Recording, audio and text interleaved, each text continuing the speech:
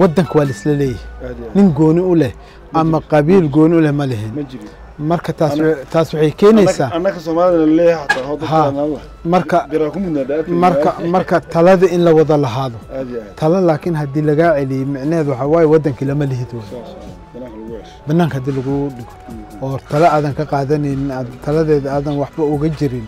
Micneheed waxaa waaye waddankii lama lihid saas marka in dadka arrimahaas lagu booriyo ay ogaadaan waa wax ugu muhiimsan.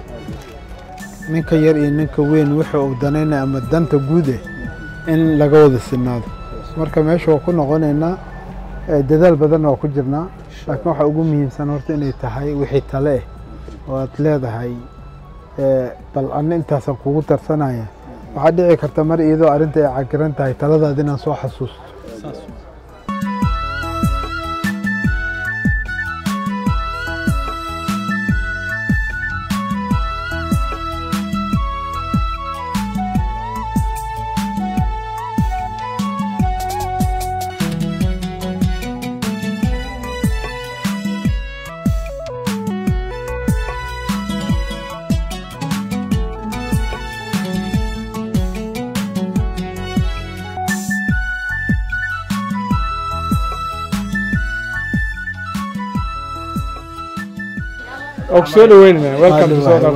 aad dadkaan umahadsan. kulligood dadkaagii maasha allah waxa weeye dee waa ujeedaayo indhahaaga ah la yidhi. Indhaha wax walba macalinkuugu ah. Si fiican. Marka dadka halkan joogo koonfur africa especially walowba xoogsata ay yihiin oo dad xoogooda iyo dhiidkooda wax ku raadsada ay yihiin. Haddana waa dad dhiban oo waxay ku dhiban yihiin. Ma garanaysaa noloshii lokeeshinada hadday noqoto xagga shaqadii hadday noqoto xagga home affairs iyo sharciyadii. Hadday noqoto no- noloshii waa iska garan kartaa waa waxa weeye. Waa nolol iska yar adag. Waxay dadku aada u jecel yihiin marka dalkoodii oo nabad ah oo madax caadi looga dhalatay oo ma garanaysaa ay noloshoodii iyo caadigooda joogooda ay ku soo noqdaan wax la qaybsadaan dadkoodii beerahoodii wax ka saartaan ma garanaysaa hawlihii waddanka wax soo saarka ay dib ugu noqdaan liannahu waxa weye hanti aad ka samayso waddan shisheeye waxaa kaaga fiican waddankaaga hooyo waxaad ka beerato ood ku ku shaqaysato baa kaaga fiican hadday noqoto guryo hadday noqoto beero hadday noqoto horumar kale hadday noqoto waxbarasho hadday noqoto takhtar oo isbitaaladii iyo waddanku ilaa isbitaalla kama jiro takhaatiir kama jirto kama jiro wax la yidhaha biyogelin kama jiraan oo dadku arta abaaraha iyo dhibaatada haysato mahadsan tahay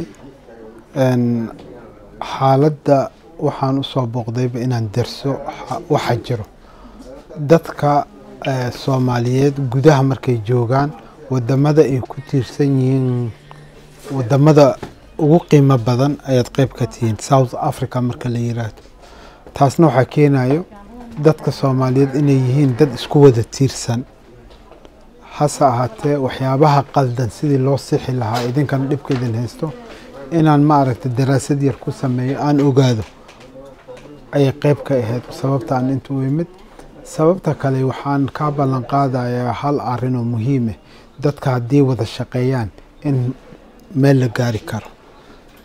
Jaaliyaddan inta degan south africa waxaa waxaa la rabaa in laga dhigo tusaale pilot project oo kaleeto in la mideeyo dowlad.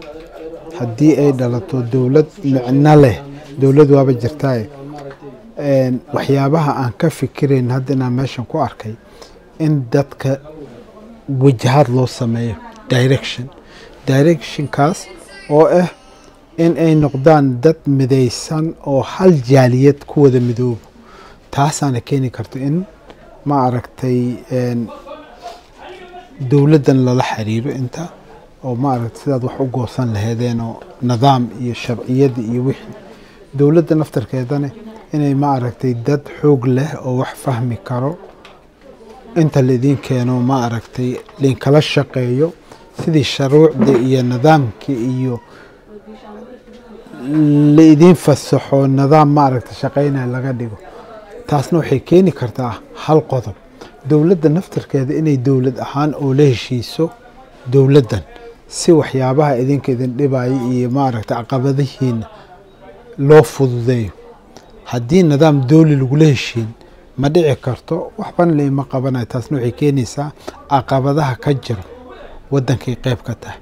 Marka taasna waxaan rabaa waa ku baraarugsanahay haddiiba chances oo ilaahay siiyo a meeshan ay wax maaragtay madaxweyne aan ka noqdo. Safiir iyo xataa kuma haleynaya inaan heshiis gooni ah maaragtay waddanka wixii idinka laydin qaban lahaa maadaama dadka degan inta ay yihiin jaaliyad aada u culus. In ma aragtay sidii faaid nidaamkiina loo hirgelin lahaa arrimaha aan ku baraarugsanay qayb ka tahay. Boolisi ahaan waddanka waa siyaasad iyo nidaam in ma aragtay uu leeyahay dadka siyaasiyiinta.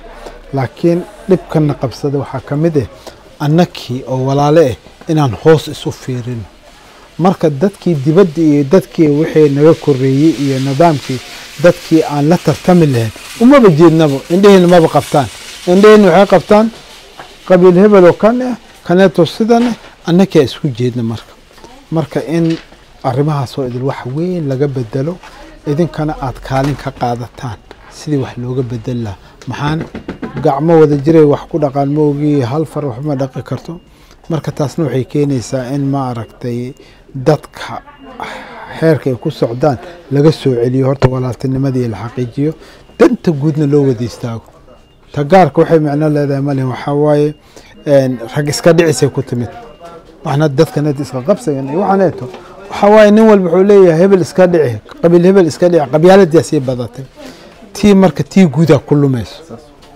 Marka annaga waxaan dareemsanahay ta guud inaan soo celino oo dadka laga wada hadlo danta guud hoos aan isu fiirinin in laisu sabri karo kor la fiiriyo dadkoo idil marka xilkas ma aha.